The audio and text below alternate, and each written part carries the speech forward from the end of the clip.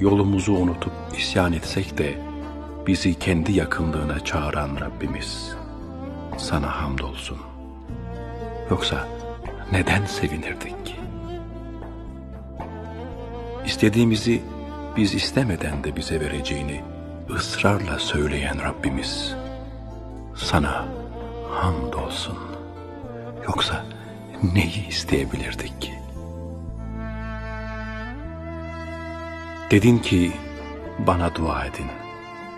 Duanıza cevap vereyim. Dudağımız yoktu ki bir söz söyleyelim de senden dudak isteyelim. Ey Rabbimiz sen bizi dudaksız da duydun. Mecalimiz yoktu ki arz edip sana varlık isteyelim. Ey Rabbimiz sen bizi hiç hesapta yokken sevdin de var eyledin. Gözümüz yoktu ki körlüğümüzü görelim de senden ışık isteyelim.